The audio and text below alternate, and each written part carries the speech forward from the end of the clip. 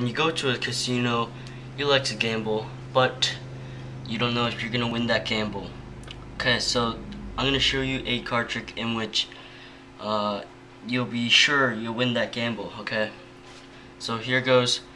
I will show you, or actually, can pick a card, any card. Um, actually, I'm not even gonna see this card. I'm gonna shuffle it.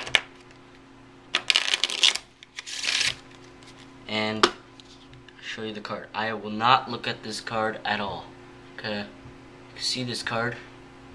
I don't know what this card is. So I'm going to place it right down there. What I'm going to do now is just place your card right in the deck and complete the cut. And there is no breaks. There's it's all fair, okay? So I'm going to give it a little spin here.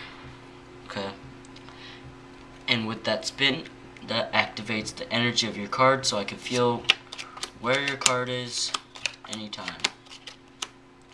So I haven't even looked at your card correct? But I'm gonna feel the energy of your card and just just make out what your card is okay?